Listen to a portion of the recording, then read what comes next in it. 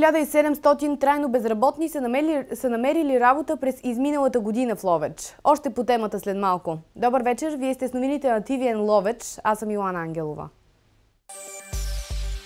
Шуменски ученици създадоха компютърна игра. Стопани очакват добра реколта от пшеница тази година.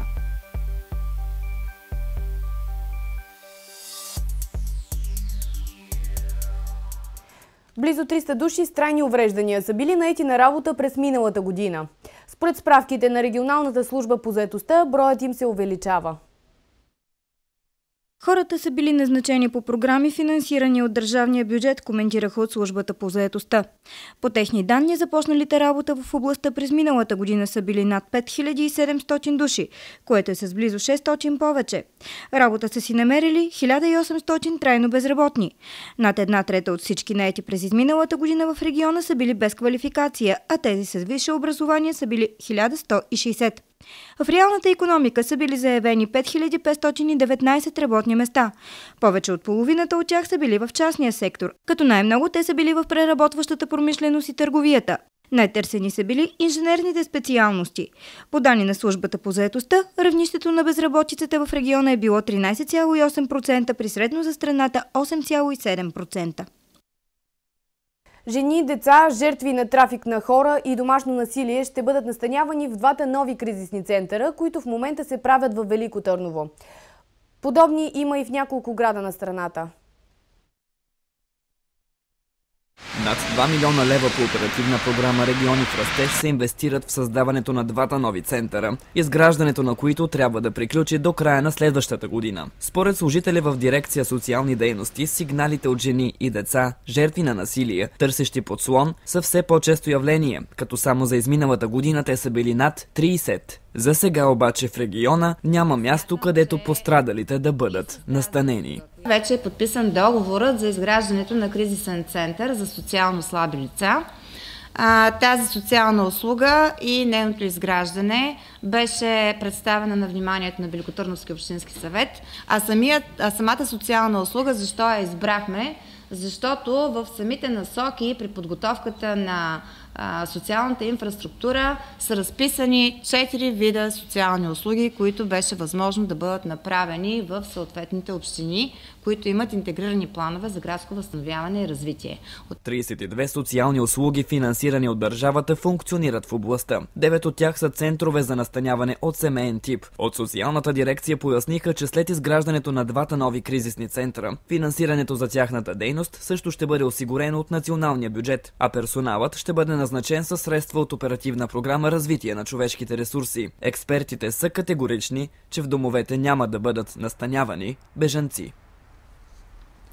12 пияни и 6 другирани водачи са били хванати от полицията в Велико Търново само за седмица. За щастие е станала само една катастрофа. 12 са пияните водачи, които великотърновски полицаи са спипали до края на януари. Други 10 са седнали зад волана без книжка. Шестима са шофирали под въздействие на наркотици. Това информират от областната дирекция на МВР в Старата столица. Над 500 са установените нарушения на закона за движение по пътищата за отчетната седмица. Разписаните фишове са повече от 300, 175 са актовете. Седем водачи вече са глобени за липса на винетен стикер. За периода в областта е възникнала само една катастрофа. Върховният административен съд отмени решението на Централната избирателна комисия машинно гласуване да има само в 500 секции в страната. Според становището на магистратите, на предстоящия вод на 26 март машини трябва да има във всички секции. Справиха ли се русенци с машинното гласуване на последните президентски избори? Вижте във видеото. Машинното гласуване в Руса беше въведено експериментално на последния президентски вод през есента. В областта бяха разпределени 20 машини, които бяха поставени в по-големите секции в региона. Те бяха разпределени в три големи училища – Гимназията за европейски езици, Училище Възраждане и Дойче Шуле. В областта бяха разпределени машини и в общините Бяла и Ветово. Проверка на екипа ни и на двата тура на вота показа, че възрастните хора все още предпочитат традиционния метод на гласуване с хартия на бюлетина. Причината беше, че не се справяха с електронното гласуване или нямаха доверие в системата. Самото машинно гласуване ставаше изключително бързо и бе предпочетено от по-младите хора, които пък бяха категорични, че не се притесняват от избора си. Гласуването позволява корекция при грешка, а гласуването отнема буквално секунди, мотивираха се те. Сега остава въпросът дали държавата ще успее да достави на време достатъчно машини, за да се изпълни съдебното решение и машинен вод да има навсякъде. Увеличената в края на миналата година такса за добив на инертни материали е на път да направи драгажните фирми неконкурентно способни на вътрешния пазар. Силистренско предприятие разчита на пазарите си в Румъния за да оцелее, но вече има реална опасност да съкрати голяма част от работниците си.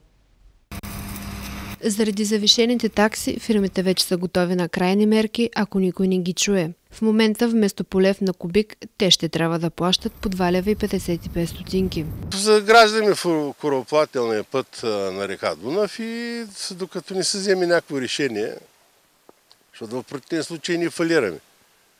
Значи ние цял живот с това сме се занимавали. Новите такси са на път да убият бизнеса, опасяват се в Селистринското драгажно предприятие. Според тях, промените ще доведат не само до повишаване цената на продукцията им, но и до съкръщения. Сега работим на режим на работа, двуседмичен, в плав състава.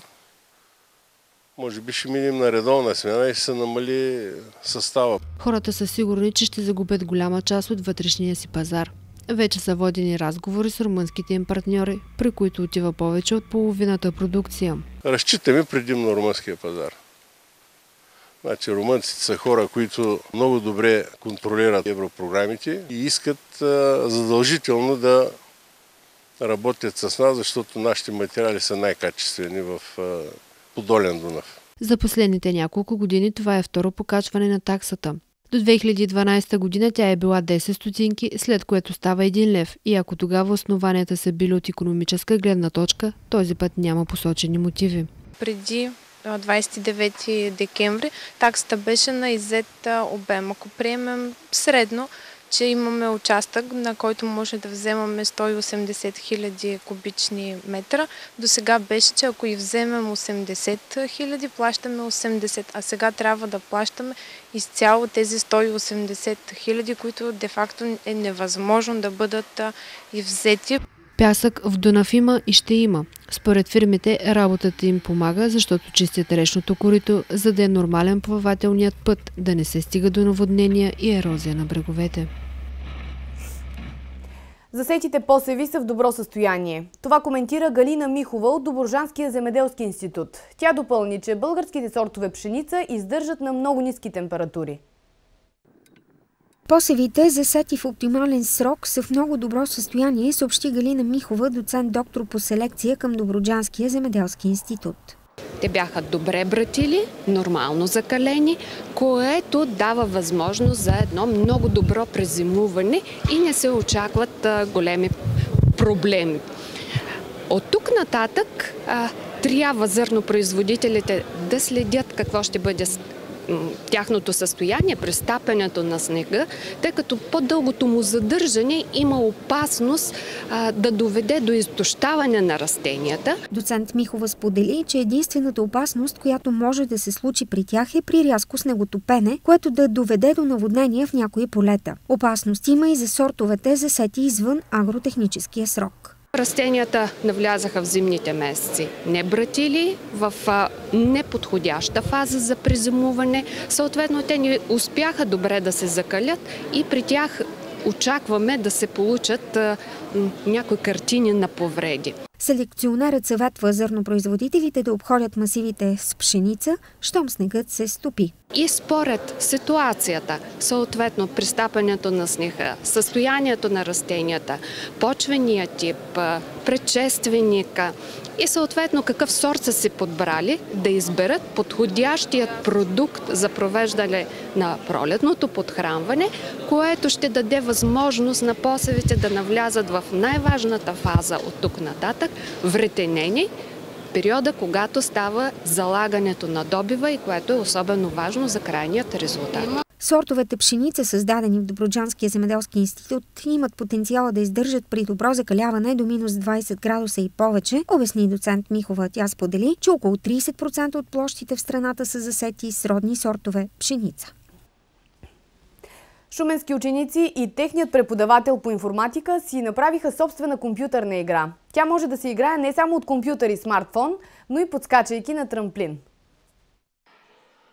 Преподавателят Ангел Ангелов и учениците му от средното училище Сава Доброплодни са разработили игра, която забавлява всички. Децата сами избрали как да изглеждат героите им и вече са изработили четири нива, които да преодоляват.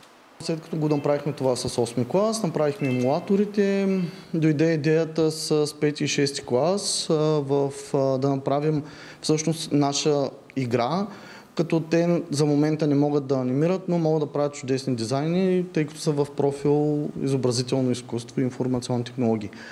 А, направихме 4 нива плюс началния екран, като за логото ни помогна ученик от 8 клас. И така вече след като имахме тези неща с учениците от 7 клас и някои ученици от 6 клас, всъщност направихме за момента две от нивата, които наш си герой да, да се движи от едно място на друго, като допирайки се до определен предмет от ландшафта, да речем да се рестартира играта или до друг предмет да му дава точки. За да е по-забавно обаче, преподавателят и децата свързват играта с стар физкултурен трамплин посредством платка. Тя а, предава а, електричество към а, компютъра, като компютъра всъщност разбира а, тези сигнали като а, клавишни комбинации от а, клавиатурата. Такива сме вече правили няколко, примерно да свирим на плодове. Бяхме направили стъпалата като клавиши от пияно и когато се движиш да, да свири пияно.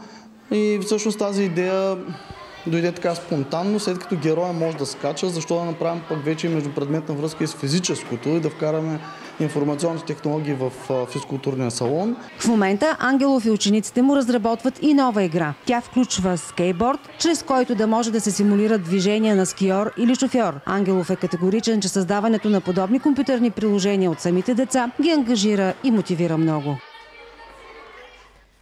Това беше и по-важното от деня в новинарската ни емисия. Повече за това какво се случва в региона и страната ще намерите на нашия сайт TVN.BG. От екипа ни от мен Йоан Ангелова, спокойна вечер. Останете с програмата на TVN.